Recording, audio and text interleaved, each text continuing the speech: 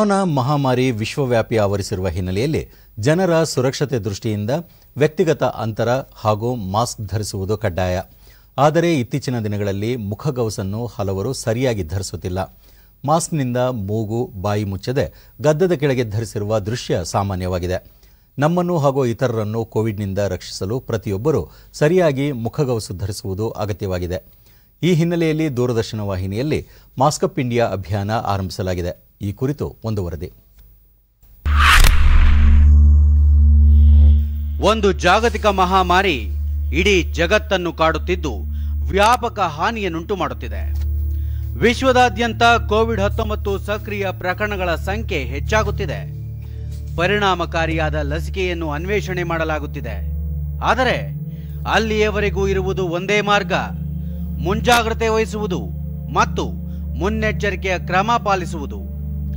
Mask, ಮುಖಗವಸು ಧರಿಸುವುದರಿಂದ Covid ಹತ್ತೊಂಬತ್ತು ಹರಡುವುದನ್ನು ಪರಿಣಾಮಕಾರಿಯಾಗಿ ನಿಯಂತ್ರಿಸಬಹುದು.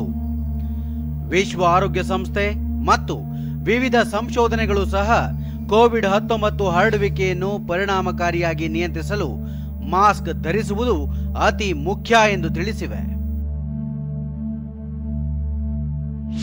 ಮಾಸ್ಕ್ನಿಂದ ನಿಮ್ಮನ್ನು ಕೋವಿಡ್ ಹತ್ತೊಂಬತ್ತು ಸೋಂಕಿನಿಂದ ರಕ್ಷಿಸಿಕೊಳ್ಳಲು ಸಾಧ್ಯ. ತಜ್ಞರ ಅಭಿಪ್ರಾಯ.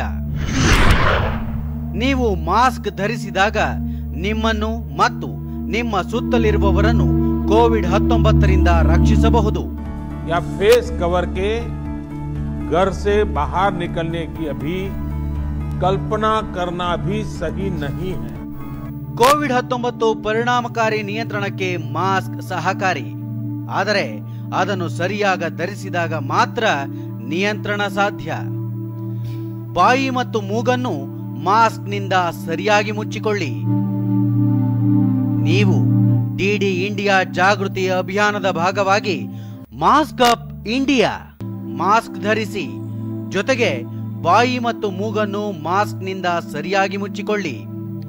ಸರಿಯಾದ ಕ್ರಮದಲ್ಲಿ ಮಾಸ್ಕ್ ಧರಿಸಲು ನಿಮ್ಮ ಕುಟುಂಬದವರು ಮತ್ತು ಸ್ನೇಹಿತರಿಗೆ ತಪ್ಪದೇ ತಿಳಿಸಿ.